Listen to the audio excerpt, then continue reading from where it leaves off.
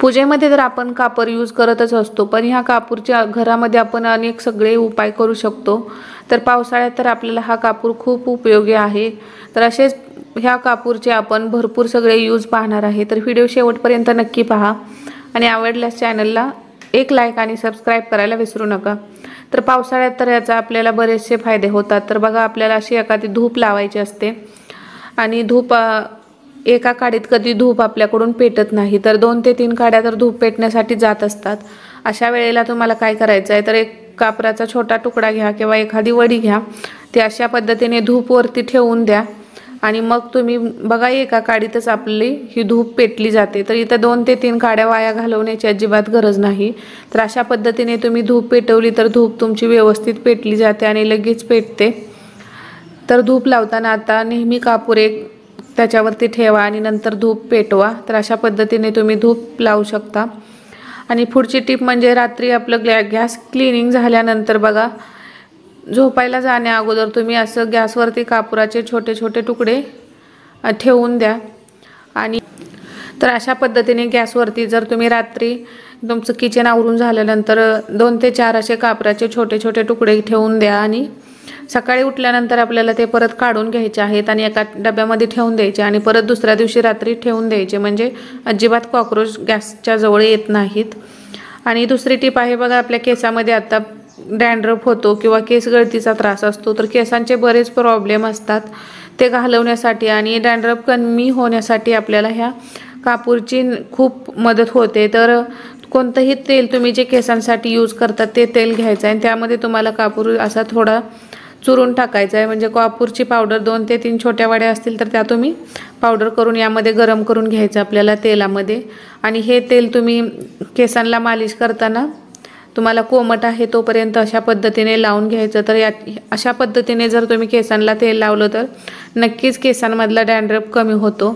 तसेच बघा आपल्या पायांना आग होत असते किंवा खाज होत असते. पाय जर तुमचे दुखतसुद्धा असतील तरीसुद्धा हा उपाय नक्की करून बघा. तर अशा पद्धतीने ह्या तेलामध्ये कापूर मिक्स करून घेतलेला आहे. आणि हे तेलाने तुम्ही पायाची मालिश नक्की करून बघा. तुम्हाला झोपताना अशा पद्धतीने जर तुम्ही पायांना मालिश केली तर तुम्हाला नक्कीच यामध्ये आराम भेटतो. तर पावसाळ्यात बघा काय होतं की आपल्या कपड्यांमधून वास येत असतो. त्यावेळी आपण कपाटामध्ये डांबर गोळी तर म्हणजे हे नॅपटॅलिन बॉल तर ठेवतच असतो. तर त्याबरोबर एक दोन कापराचे वडीसुद्धा त्यामध्ये टाका. आणि अशा पद्धतीने गाठ बांधून तुमच्या कपाटामध्ये कपड्यांच्यामध्ये किंवा कपाटात कुठेही तुम्ही ठेवून द्या.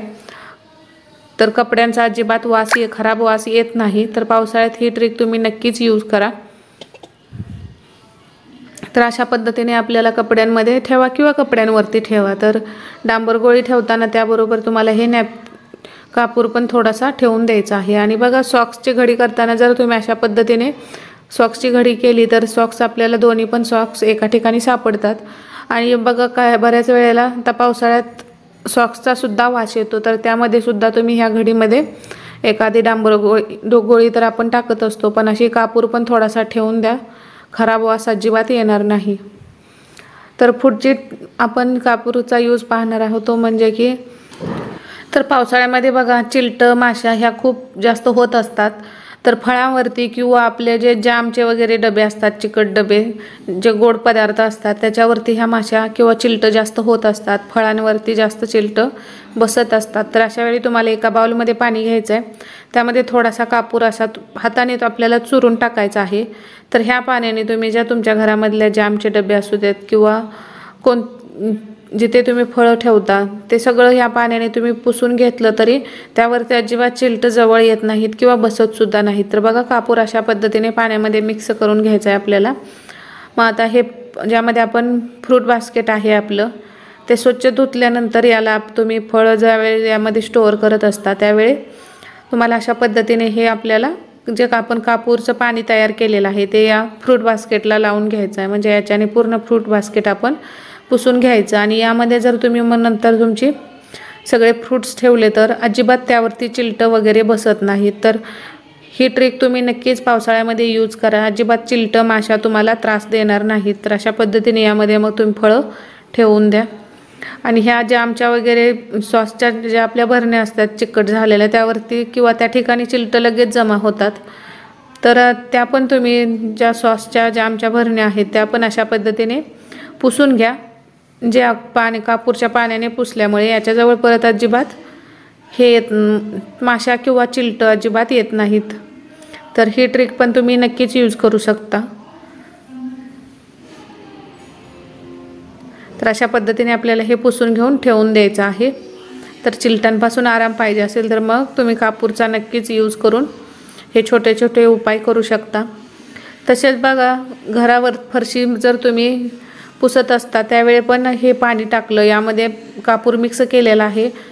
ह्या पाण्याने जर तुम्ही फरशी पुसली तर घरामध्ये एकतर जे बाही बारीक कीटक असतात जीवाणू ते सगळे मरून जातात आणि तुमच्या घरातील वातावरण फ्रेश राहायला सुद्धा मदत होते आणि आपली फरशीसुद्धा पूर्ण व्यवस्थित बॅक्टेरिया फ्री होऊन जाते. तर अशा भरपूर यूज तुम्ही कापूरचा यू घरामध्ये तर असे बरेचसे उपाय तुम्ही कापूरचे तया घरामध्ये करू शकता. तर व्हिडिओ शेवटपर्यंत पाहिल्याबद्दल धन्यवाद आणि आवडल्या चॅनलला एक लाईक आणि सबस्क्राईब करायला विसरू नका.